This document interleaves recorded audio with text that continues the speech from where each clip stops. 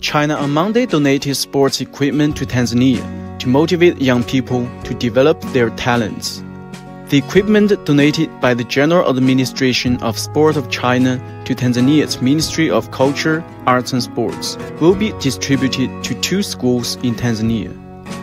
Tanzania's Minister for Culture, Arts and Sports, Pindi Chana, expressed appreciation to the Chinese government for the donation.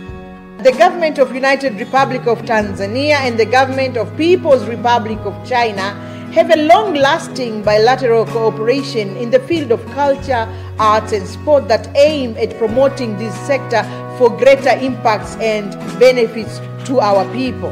We sincerely thank the Chinese government for this equipment. We hope that they will be very useful in meeting our needs in sports sector. With this equipment, we believe that our young people will be able to maximize their sports talents that which in long run our nation will have produced more sports professionals. Chinese ambassador to Tanzania, Chen Mingjian, said sports exchanges have always played a positive role in promoting understanding between the people in China and Tanzania. Sports are a bridge of communication and peace.